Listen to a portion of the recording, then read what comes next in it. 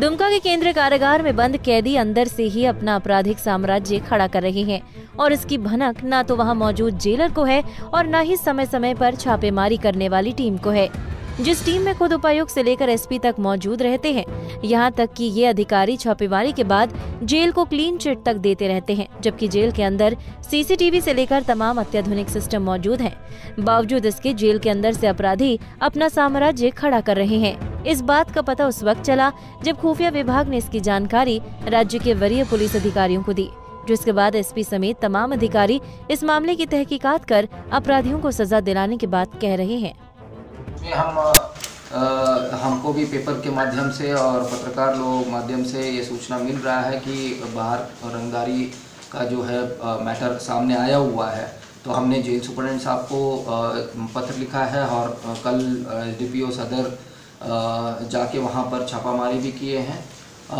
हम ये जैसे ही आपको भी पता है छापामारी करने के पश्चात जो हमको कुछ नहीं मिलता है बट हम टेक्निकल जो डिटेल्स है हमारे पास जो टेक्निकल टेक्नोलॉजी का यूसेज करके हमने सभी कॉलडम निकाला है और कौन कौन किस किस से कहाँ कहाँ बात किया है ये सभी जो है डिटेल्ड जो है स्टडी किया जा रहा है।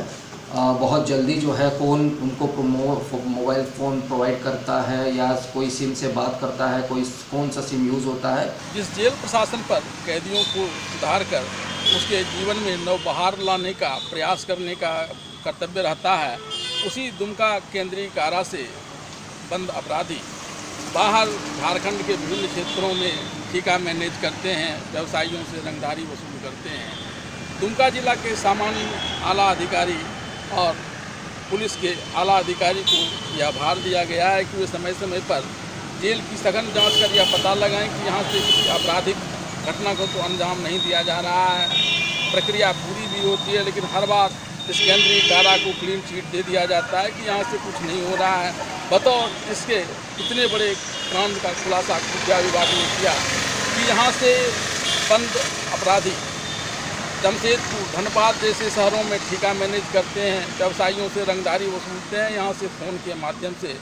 अब जब ऊपर से एडीजी के स्तर से यह मामला संज्ञान में लाया गया, यहाँ के पुलिस के अधीक्षक के तो वे इस पर मामले की कार्रवाई करने की बात करते हैं। ऐसे में यह देखना दिलचस्प होगा कि पुलिस जेल प्रशासन पर कोई कड़ी कार्रवाई कर सकता है। इसमें किन किन की मिली सहभागिता है, इसको उजागर कर दोषियों को कोर्ट से सजा दिलवा पाता है या फिर सब कुछ वैसे ही मैनेज हो जाता है, जैसे कि अभी दुमका केंद्रीय कारा के अंदर से बंद कैदी बाहर में ठीका मैनेज करते हैं और रंगदारी वसूलते हैं।